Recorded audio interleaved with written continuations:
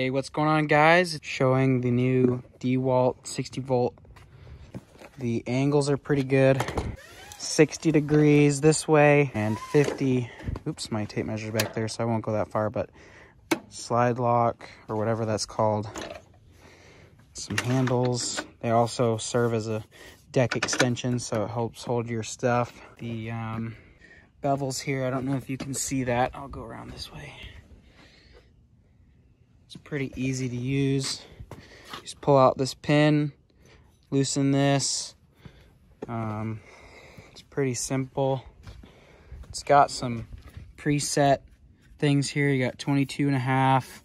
I believe that's 45. This thing's pretty neat. You just let go of that and you push it down and it locks in place. Slides real easy. Slide that on there like that. Now it can't slide. Now it can't open. Ready for storage. Um, just gonna do a little walk around here.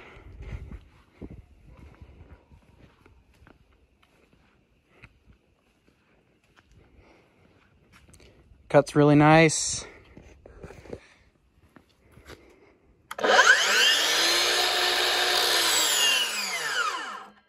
Takes a little bit longer to ramp up than my corded one there. I don't know if you can see.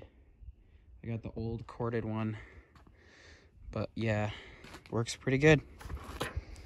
So yep, that's the new DeWalt 60 volt uh, miter saw. If you guys want me to do more reviews of it, I'm going to be using it for framing. So yep, there it is. Thanks for watching.